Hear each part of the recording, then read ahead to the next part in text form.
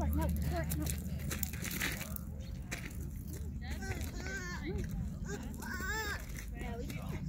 I say right here. Let's go back in the shade. Come on. Okay, we gotta go. Come on. Come on. No, no, no. Go back in the shade. Good job.